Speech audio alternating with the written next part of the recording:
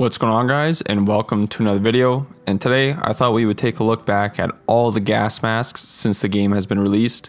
I'm pretty sure I have all of them but if I'm missing one I do apologize but let's get into it. Now I'm also going to include the gas masks that are part of an outfit such as the Liberty outfit for the UK that has one on his chest piece or the Jackal for the Germans that has one around his waist. Now I'm including these just to show you guys how absurd DICE has gone with these gas mask cosmetics and to me I really enjoy the gas masks but to others it's more of a meme now.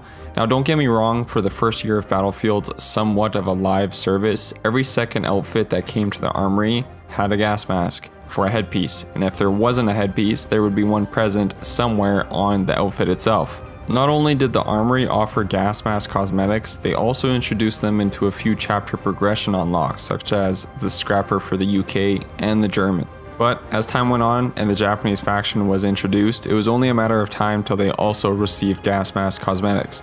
And in my opinion, they looked awesome and blended in very well with different outfits.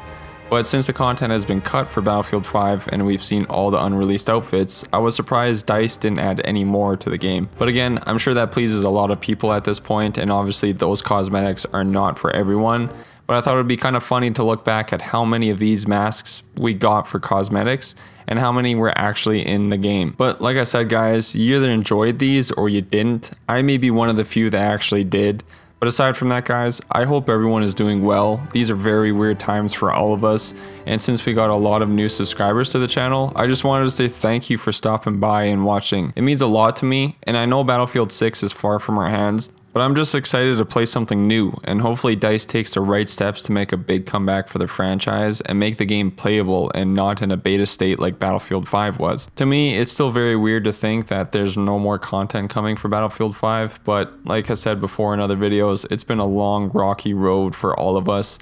And I think just everyone wanted to play a game that actually felt finished. And now that we've reached the end of the Battlefield 5 cycle with this last content patch, it seemed fun to play again. But there's just no more coming. So th- at this point, it's just kind of weird to kind of progress through the game itself, knowing that this is it for it. And not only that, it took almost two years for DICE to give us historically accurate outfits, which pleased a lot of people, and we're still missing most of the outfits that people actually want brought back, just like the Wild Eagle outfit or the GI or the Yankee. I still don't understand why DICE has added them to the armory yet. But that's just me rambling on, guys. But as always, guys, thank you so much for watching, and I hope you enjoy the rest of the video. And if you did enjoy it, consider leaving a like. But again, if you're new to the channel, maybe check some videos out, and if you like them, maybe consider subscribing. And I'll catch you guys in the next one.